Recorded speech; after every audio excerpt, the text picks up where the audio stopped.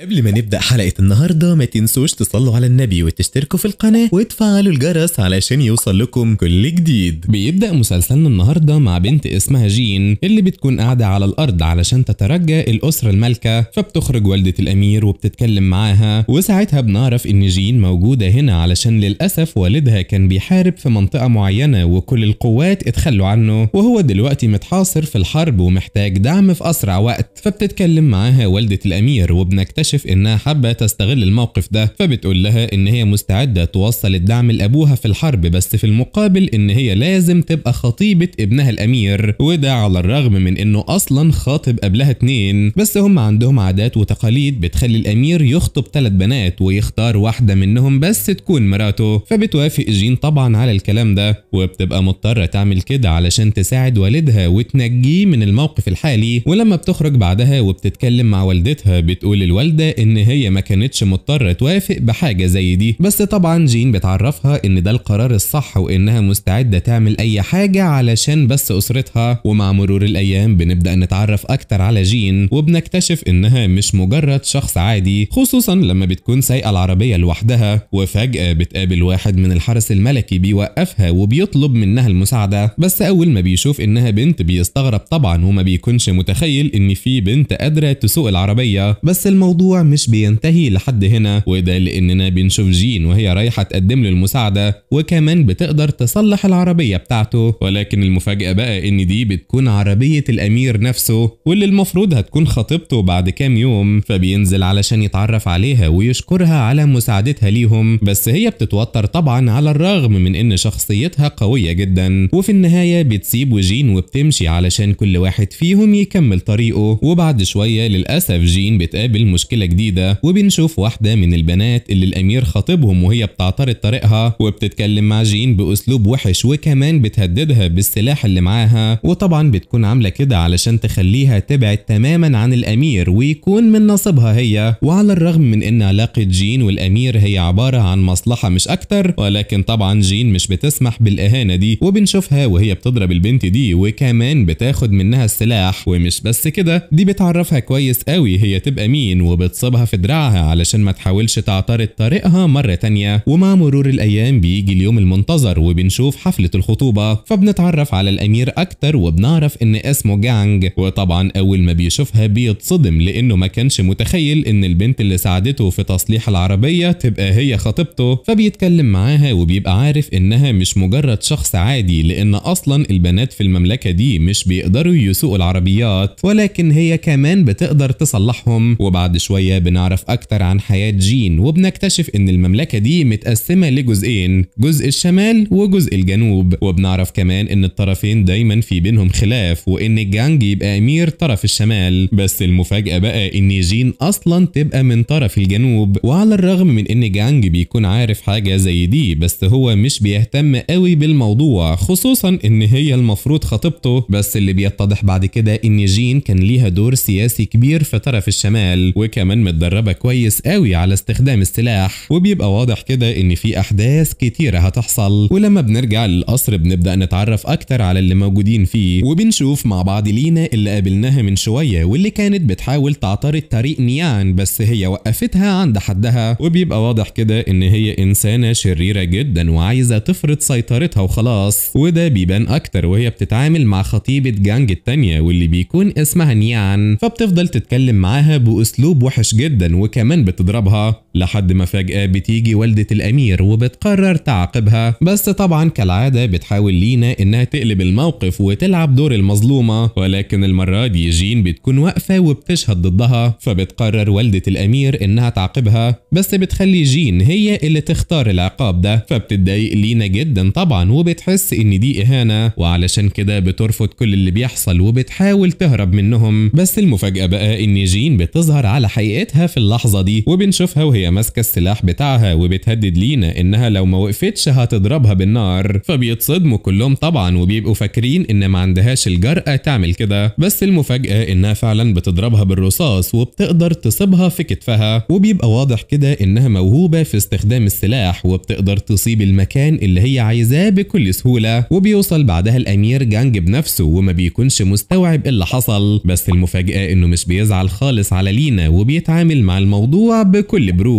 خصوصا كمان لما بيسأل جين عن اللي حصل فبتقول له إن هي خالفت قوانين القصر الملكي وكمان كانت بتحاول إنها تهرب فبياخد صفها وإعجابه بشخصيتها بيزيد بشكل كبير بس في نفس الوقت برضه بيبقى حاسس إنها غامضة جدا. وفي نهاية اليوم بيكون جانج عنده حفلة مهمة وبيقرر ياخد جين معاه لأول مرة. فبيقضوا وقتهم بشكل طبيعي وكل حاجة بتكون ماشية كويس قوي لحد ما بيمشوا بعد كده وبيقرروا يقعدوا في مكان علشان ياكلوا وفي اللحظة دي بيطلع عليهم شوية أشخاص بيكونوا قطاعين طرق ومن سوء حظهم إنهم ما بيكونوش عارفين مين ده. فبيضايقوا جين وبيحاولوا يقربوا منها بشكل سخيف وساعتها بيتدخل جانج طبعا وبيقدر يضربهم كلهم وبيتغلب كمان عليهم. فبتستغرب جين من الموقف وبتحس إنه مهتم بيها ولكن في نفس الوقت بتفكر إنه أكيد دافع عنها بس علشان كرامته. وبتحصل معركة كبيرة ما بينهم هما الاتنين وقطاع الطرق. وطبعا مش محتاجين نقول إنهم بيفوزوا بكل سهولة وبيعلموهم كمان درس مستحيل ينسوه طول حياتهم. وتاني يوم بتتجمع جين مع أسرتها وبنعرف إنهم بيحبوا بعض جدا. وعلى الرغم من إن والدها بيكون متضايق من فكرة جوازها بس هي بتعرفه إن ده كان الحل الوحيد علشان تساعده. وكمان بتطمنه وبتقول له إن جانج بيتعامل معاها بشكل كويس قوي وإنهم ممكن يتقابلوا ويتكلموا مع بعض كمان. وفي اللحظة دي بنرجع نفتكر تاني إن جين وجانج من أطراف مختلفة. وإن الطرفين كان دايما في بينهم خلاف وحروب ولكن الجواز اللي حصل ده كان بدوره إنه يحافظ على السلام شوية ما بين الطرفين. وبيعدي الوقت وبتكون جين نازلة على السلم وفجأة بتقابل شخص اسمه ليو. فبيتكلم معاها وبيتضح إن هما الاتنين يعرفوا بعض من زمان وكانت علاقتهم قوية قبل كده. فبتسأله جين هو عايز إيه؟ وساعتها بيرد وبيقول إنه عايز يقابل والدها علشان شيء سياسي. وده لأن والد جين بالمناسبة يعني يبقى واحد من الأمراء الكبار في المملكة. بس لما بتعرف جين إن ليو نيته مش كويسة وإنه بيحاول يصنع حرب ما بين الطرفين بترفض تساعده أو حتى تخليه يقابل والدها. وفي اللحظة دي بيظهر جانج مع رجالته وما بيكونش مبسوط خالص بوجود ليو هنا. وده طبعا لأن زي ما وضحنا في خلاف كبير ما بين الطرفين. وبنعرف إن ليو يبقى واحد من أمراء الطرف الجنوبي. فبيتكلموا مع بعض بأسلوب مش كويس وبيحصل بينهم خلاف بسيط. ولكن جين بتقدر تنقذ الموقف وبتبعدهم هما الاتنين عن بعض. وبعدها بيتكلم جانج معاها وبيديها سلاحه الخاص وبيقول لها تستخدمه علشان تدافع عن نفسها ضد أي حد. فبتاخده طبعا بس بتكون مستغربة جدا من الموقف ده. وده لأنها بتبدأ تحس إنه مهتم بيها وفي مشاعر جواه ناحيتها. وبعد شوية بنشوف جانج وهو قاعد بيتكلم مع صديقه بخصوص الشغل. وفجأة بيفتحوا موضوع جين. فبيسأله صديقه عن ليو وبيقول له هو إزاي ما عندوش فضول يعرف كانت إيه علاقته بجين أيام زمان فبيتظاهر جانج إنه مش مهتم وإن الموضوع عادي بالنسبة له. ولكن في الحقيقة بيبقى واضح من أسلوبه إنه فعلا مهتم جدا وكمان بيغير عليها. بس هو صعب يظهر ده علشان عزة نفسه. وفي نهاية اليوم بتتجمع الأسرة كلها في القصر الملكي وطبعا لينا بتكون موجودة. فبتبدأ تتصرف بالأسلوب اللي هي متعودة عليه وبتستغل أي فرصة قدامها علشان تأذي جين. ولكن لحسن الحظ إنها مش بتقدر توصل لأي حاجة خصوصا كمان إن جانج بيبقى عارف نيتها كويس قوي وبياخد صف جين وبيدافع عنها قدامهم كلهم ولما بتسيبهم جين وبتمشي بيفضل جانج ماشي وراها وكأنه عايز يتكلم معاها ولكن كان متردد. لحد ما بتاخد جين بالها وبتستغرب من تصرفاته دي وساعتها بقى بيجمع شجاعته وبيقول لها تيجي معاه علشان يروحوا ياكلوا مع بعض. وبالفعل بيمشوا سوا. وأول ما بيوصلوا للبيت بنلاحظ إن جين بتتعامل معاه بشكل طبيعي خالص. وما بيكونش جواها أي مشاعر ناحيته ولكن هو بيبقى عكس كده تماما وبنلاحظ إنه عايز يستغل أي فرصة ممكن تيجي قدامه علشان بس يقرب منها فبيتكلم معاها وبيقول لها إنه دافع عنها من شوية قدام أسرته بالكامل وإنها على الأقل يعني المفروض تشكره على ده فبتفضل جين تبص حواليها لحد ما بتلاقي ورد شكله جميل وساعتها بتقدمه له هدية كنوع من الشكر وعلى الرغم من إن الموضوع بالنسبة لها كان شيء عادي والهدية مش مش مميزة ولا حاجة بس بنلاحظ إن جانج بيفضل من بعدها مركز مع الورد ده. وبيتعامل معاه كأنه أغلى هدية جات له في حياته. وطبعا لما صاحبه بيجي وبياخد باله بيفضل جانج يتظاهر إن مفيش حاجة وإن الورد ده مجرد شيء عادي جدا بالنسبة له. ولكن صاحبه بيبقى فاهم إيه اللي بيحصل بالظبط وعارف إن جانج وقع في حب جين خلاص. وتاني يوم بترجع جين لبيت أسرتها مرة تانية. وهناك بتقابل أختها وبيقعدوا يتكلموا مع بعض. وبعد شوية بيخرجوا هما الاتنين سوا علشان يشتروا شوية حاجات. بس أول ما بيوصلوا للمكان اللي هيشتروا منه للأسف بيواجهوا مشكلة ما كانوش عاملين حسابها أبدا. وهي إن صاحب المكان بيضايقهم وبيرفض يبيع لهم أي حاجة وبيتعامل معاهم كمان بشكل مش كويس. ولما بتدافع جين عن نفسها بيحاول الشخص ده إنه يضربها وفعلا بياخد الخطوة دي. بس ساعتها بيظهر ليو فجأة وبيقف قصاده وبيدافع عن جين وكأنها مهمة بالنسبة له. ومش بس كده ده كمان بيتخانق مع كل اللي في المكان وبيتغلب عليهم كلهم.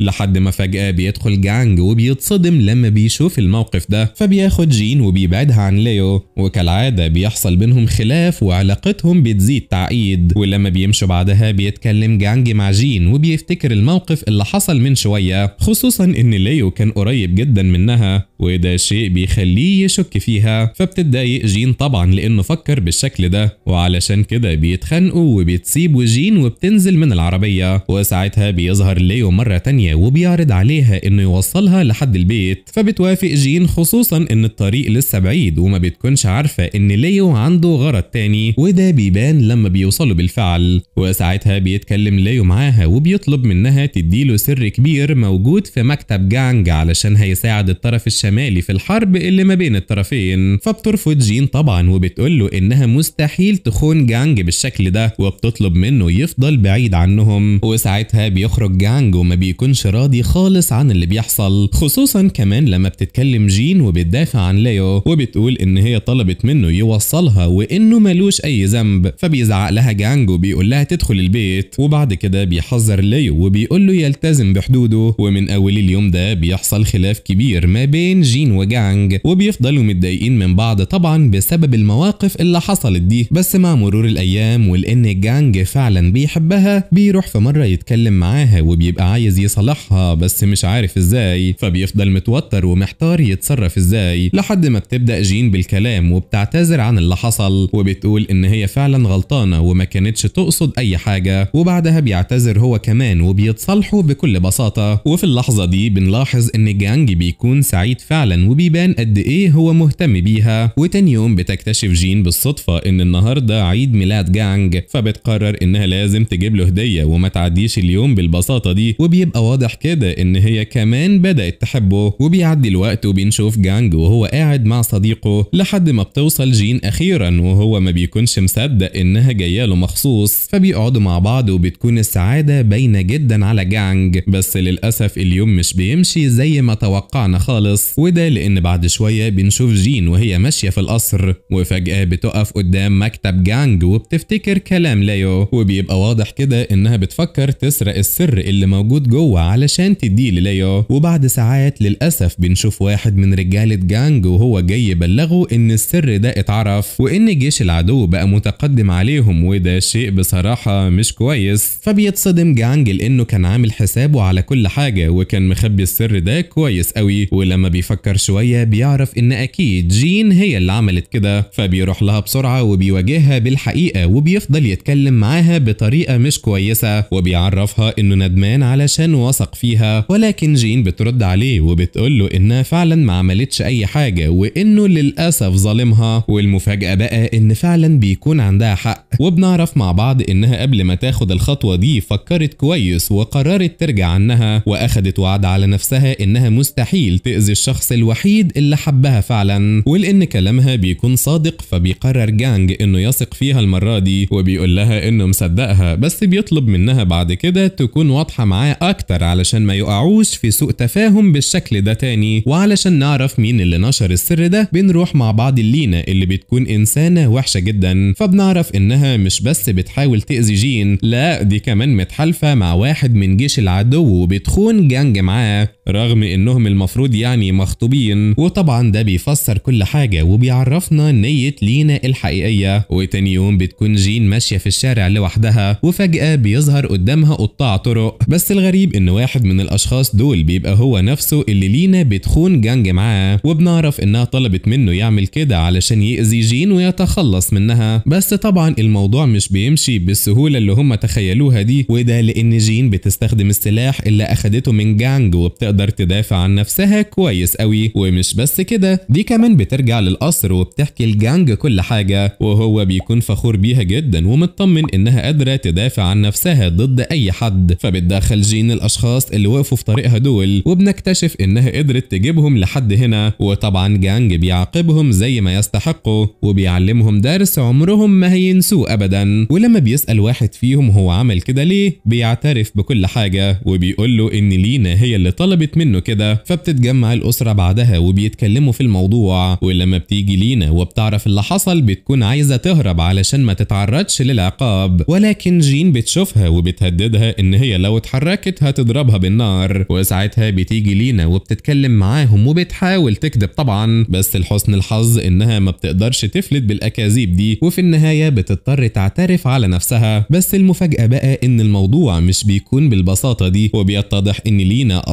اصبحت مدمنة على نوع مخدر سيء جدا وهو ده اللي خلاها تتحالف مع العدو وتديله أسرار جانج. فبيقرر جانج إنه يحبسها في أوضة لوحدها لحد أثر المخدر ما يختفي من جسمها وبعد كده هيكون في كلام تاني خالص. وبالفعل الوضع بيفضل ماشي بالشكل ده. لحد ما في مرة بتروح جين وبتتكلم معاها وبتبقى عايزة تفهم منها حاجات كتيرة قوي. فبيظهر على لينا أثر المخدر وبتبقى عايزة تخرج من هنا بأي شكل. وعلشان كده بتعرض على جين إنها مستعدة تعترف بكل حاجة مقابل إنها تساعدها في الهروب فبتقرر جين إنها تلعبها صح بقى المرة دي وبالفعل بتوافق على كده وبتطلب من لينا تقول كل حاجة. فبتبدأ لينا تتكلم وبتقول لها أكبر صدمة في حياتها وهي إن ليو يبقى أكبر عدو للمملكة كلها وبتعرفها إنه مش مهتم اطلاقا بالطرف الشمالي أو الجنوبي وإن كل اللي يهمه بس مصلحته الشخصية ومش بس كده ده كمان هو اللي بيسمح للمخدر ده إنه يدخل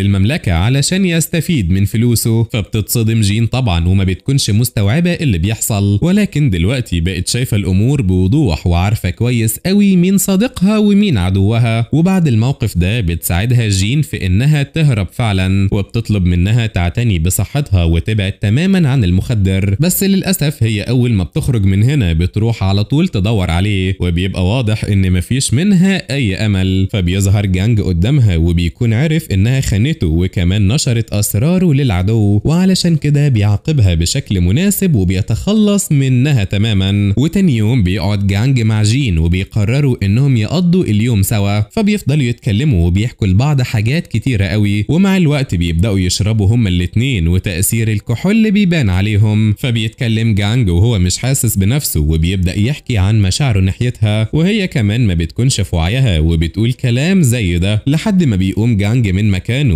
وبيطلب منها تقرب منه وساعتها بتحضنه جين وبيبقى موقف رومانسي جدا. بس تاني يوم بنشوف جانج لما بيصحى وبيروح يتكلم معاها وللأسف ما بيكونش فاكر أي حاجة. فبتتكسف جين طبعا أول ما بتشوفه لأنها بتكون فاكرة اللي حصل. بس أول ما بتعرف إنه ناسي الموضوع بتتضايق جدا طبعا وبيبقى واضح إنها خلاص حبته. ولكن أول ما بيسيبها جانج وبيخرج بيقف مكانه فجأة وبيبدأ يفتكر كل حاجة. فبيتصدم طبعا وما بيكونش مستوعب إنه اتكلم معاها بالشكل ده وعلشان كده بيرجع وبيسألها لو كان ده حصل بالفعل ولما بتقول له إنه حصل بيحس جانج بإحراج أكتر منها وبيمشي بسرعة علشان ما يبانش إنه مكسوف ومن أول اللحظة دي بيكون شيء واضح جدا إن هما الاتنين وقعوا في حب بعض خلاص وبعدها بيبدأ جانج يتفرغ شوية لأمور المملكة خصوصا بعد ما عرف حقيقة ليو من جين وإنه أكبر عدو ليهم فبيتصل والد جين وبيطلب منه يساعده في الموضوع ده وبيتفقوا إنهم لازم يهجموا على ليو وجماعته بحيث يقبضوا عليه. وبالفعل ده اللي بيحصل. وبنشوف جانج في مرة وهو رايح مع الجيش بتاعه وبيستعد علشان يهجم على مكان ليو. بس أول ما بيدخل للمكان للأسف بيكون فخ وبيحصل انفجار كبير ساعتها. ولما بتعرف جين اللي حصل ده بتبقى في غاية الخوف وحاسة إن الجانج ممكن يكون حصل له حاجة. فبتروح له بسرعة وهي قلقانة ومش مستعدة تستحمل خبر زي ده. ولكن لحسن الحظ إن الدكتور بيطمنهم وبيقول إن حالته أصبحت مستقرة وإنه قدر يهرب في آخر لحظة واتصاب بشكل بسيط بس فبتقعد جين جنبه وبتبدأ تاخد بالها من قدر حبها ليه وده لأنها عمرها ما كانت خايفة على حد بالشكل ده لحد ما بيفوق جانج أخيرا وبيطمنها إنه كويس وساعتها بتقرر جين إنها ما ينفعش تخبي عنه أي مشاعر جواها وإنها لازم تهتم بيه طول العمر علشان هي فعلا بتحبه ومن أول اليوم ده بنبدأ نشوف إن وضعهم اختلف تماما وإن جين بقت بتقرب منه أكتر علشان تشاركه اللحظات الجميلة دي. وطبعا مش محتاجين نقول إن هو بيكون سعيد جدا بكل ده وكمان بيشاركها كل الحب اللي جواه. وبعد فترة بنشوف جين وهي بتستعد علشان تخرج في رحلة صيد وللأسف بتكون رايحة لوحدها. وأول ما بتمشي بنشوف نظرة نيان الغريبة اللي بيبقى فيها شيء وراها مستخبي فبيعدي الوقت والأمور بتكون ماشية بشكل طبيعي خالص لحد ما فجأة بنشوف جيش العدو وهو بيظهر في نفس المكان اللي موجودة فيه جين. وبنعرف مع بعض إن نيان هي اللي ساعدتهم علشان يتخلصوا منها ويأذوا جانج. بس لحسن الحظ إن جين بتكون عاملة حسابها على كل حاجة وبتقدر تحس بيهم قبل ما بيجوا وبتعمل لهم كمين. فبتستخدم السلاح اللي معاها وبتقضي على عدد كبير منهم. بس للأسف في النهاية بتخلص الذخيرة اللي معاها وبتبقى على وشك إنها تخسر حياتها. بس بيقف شخص قدامها وهو ماسك السلاح وأول ما بيصوب عليها بتطلع هي السلاح اللي كانت أخدته من جانج وبتخلص عليه بسرعة. وفي اللحظة دي بيظهر جانج أخيرا بس ما بيكونش فيه داعي خلاص. وطبعا بتكون جين تعبت جدا من اللي حصل وبتمر بصدمة لأنها كانت على وشك الموت.